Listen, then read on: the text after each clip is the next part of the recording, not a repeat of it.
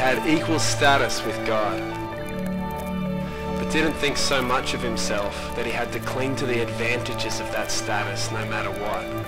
Not at all. Not at all. Not at all.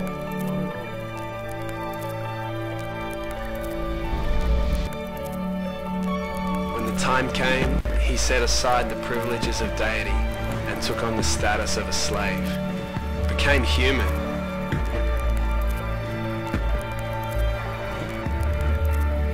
Having become human, he stayed human. It was an incredibly humbling process. He didn't claim special privileges.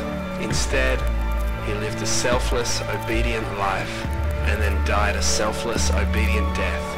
And the worst kind of death at that, a crucifixion. Crucifixion.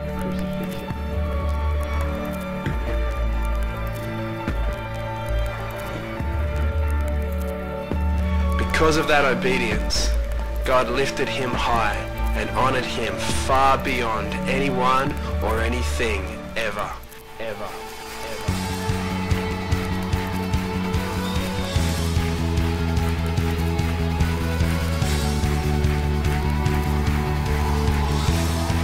So that all created beings in heaven and on earth, even those long ago dead and buried, will bow in worship before this Jesus Christ and call out in praise that he is the master of all to the glorious honor of God the Father.